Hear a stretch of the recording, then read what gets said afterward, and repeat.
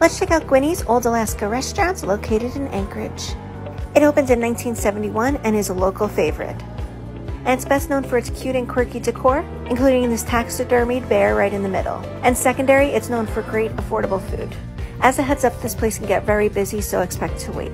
On this trip, I ordered chili and a hamburger, and I kind of made my own chili burger. The chili had way more onions than I expected, but it was totally delicious. And the hamburger was pretty tasty too. The fries were average. All the food came out so quick, and the wait staff was fantastic.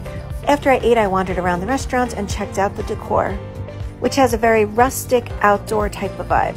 And you truly could spend hours looking at everything they have here.